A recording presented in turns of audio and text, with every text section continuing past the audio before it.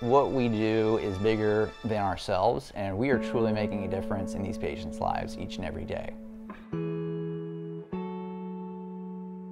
The, this industry has had such an impact on me. Now, you know, when I wake up, I have a sense of confidence. I know who I am. I know what my goal is, and I know what my purpose is in life. There are days where you will truly know that what you did not only changed that patient's life for the better, but that will leave a lasting impact potentially on a family. Hey, my name is Jake. I am a beachgoer, um, a big foodie being in Charleston, South Carolina, an older brother, a continual learner, and I'm also a field reimbursement manager. My role as a field reimbursement manager is truly to advocate for the patients that may not fully understand the complexities behind the payers and managed markets of a, of a complex biotech marketplace. We deal with managed care and making sure prescriptions get pulled through at the pharmacy level with as, as little difficulty as possible. Um, the reason that I'm capable of doing that is because some of these biotech companies are coming out with revolutionary medications. There's pharmaceuticals, then there's biologics. biologics have an opportunity to work on multiple disease states at uh, you know different times. So with those new medications coming out, insurance changes. And that's where we no longer just need sales reps, but we also need people um, called field reimbursement managers like myself to help support those, those field reps and make sure that the sales that are coming through are actually being pulled through at the pharmacy as well. With that being said, um, a lot of these patients, uh, you know, they have great results from medications, but they don't know how to advocate for themselves.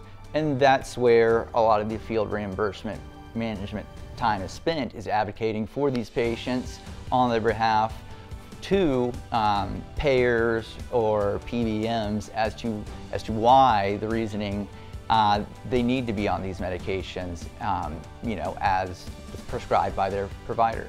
A typical day in the life um, as a field reimbursement manager, it's going to vary vastly day to day. Uh, one day you may be waking up, first thing you do is check emails, read reports, and then through the data you've seen, start collaborating with cross-functional teammates such as your, your sales reps or your regional sales manager um, if something alarming has come up.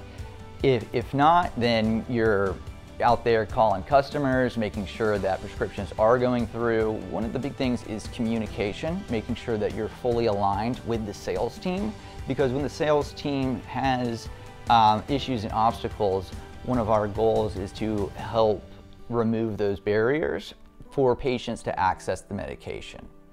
One of the main reasons that I chose uh, the biotech industry in, as a whole is because, you know, my mom a, was a flight nurse growing up, so I always had that, that science background. My dad was a sales manager.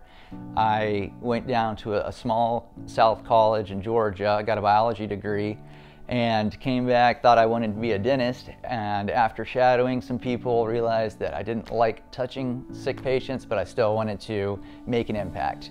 So one of the ways that I found the ability to do that was through biotech and you know, making sure that patients have an advocate and have somebody who do, does understand the landscape and the complexities of it and is able to speak on their behalf and lobby for them. So it's a multifaceted answer in the sense of there's many different rewarding um, takeaways from the industry. You know, um, you have you know the patient-centric portion of it, and then you also have you know a little bit of luxury and freedom in the sense of you do get to set your own schedule. There's work that has to be done, and, and it must be done at the end of the day, but it doesn't matter exactly at what hour of the day it gets done.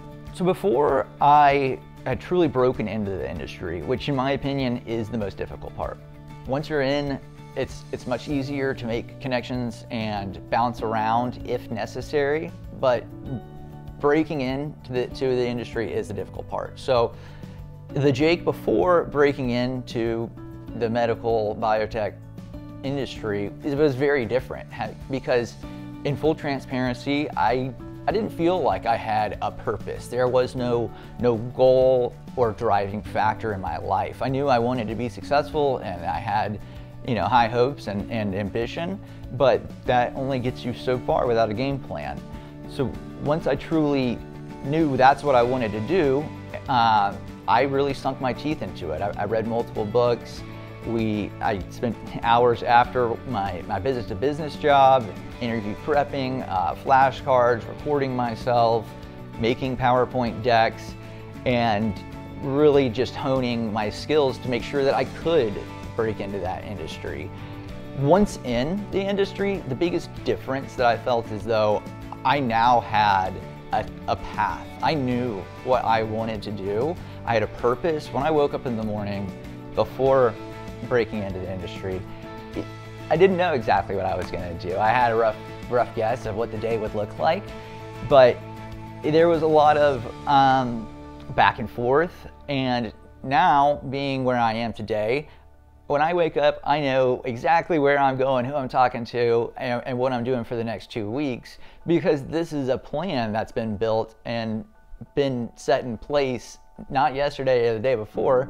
You know, you, you try to truly think about your goals at the end of this year. What would I want to have accomplished? Who can I help? What impact can I have on this organization and or our customers and patients?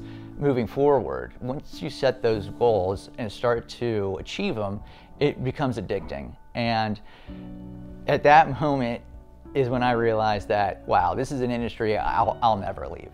A couple of things that I'd recommend for anybody looking to break into the pharmaceutical slash biotech space would be first and foremost getting two at least two years of a successful track record in business to business or B2B sales. The reason that pharmaceutical and biotech companies are going to want to have that or want to see that year to two years of B2B, business to business sales experience previously is because there are skills that you will pick up in this in in along that journey that will translate to the next step. And since these companies, these biotech pharmaceutical companies are, are pouring so much money into a, a, candidate that they've hired through their training, development, and you know um, compensation plans.